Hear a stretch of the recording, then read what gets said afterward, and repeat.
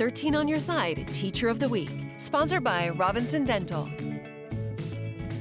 The nomination for our next Teacher of the Week praises this kindergarten teacher for all of the love and dedication she pours into her students. We got to shower her with some of that love during the surprise. Take a look.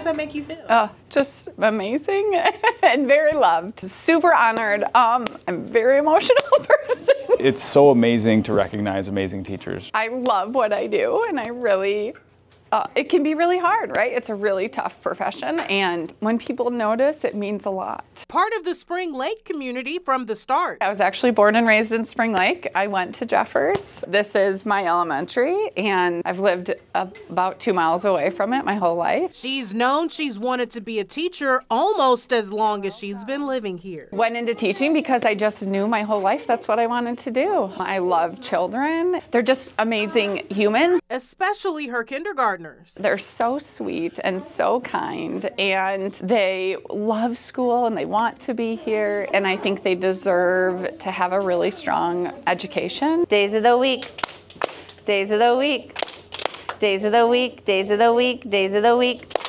Today is, raise your hand and tell me what today is. Mentored by those who have gone from teachers to colleagues. I had a fabulous teacher who still teaches here, Mrs. Ball. And then I was in high school and I worked with Mrs. Taylor and she still works here as well. She's actually one of my coworkers.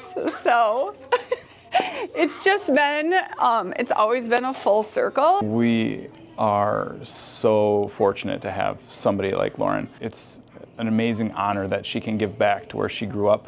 And she already has so many amazing relationships with all the people around, and she knows what it takes to keep Spring Lake a wonderful place to be in. Congratulations! Hoping this honor of Teacher of the Week makes her feel even more appreciated. I think all teachers should feel that. It does break my heart a little bit that people decide to leave teaching and kind of lose that passion because I do think that sometimes they're not feeling that. We know when we leave at the end of the day when you've made a kid smile and they're happy and they know that they're safe. You, you know inside, but to hear those things, teachers are humble people, so they're not going to go out and say, well, look at all the things I'm doing. It's when they are recognized, it's extra special. If you have someone you'd like to nominate as our next Teacher of the Week, just text the word teacher to 616 559 1310.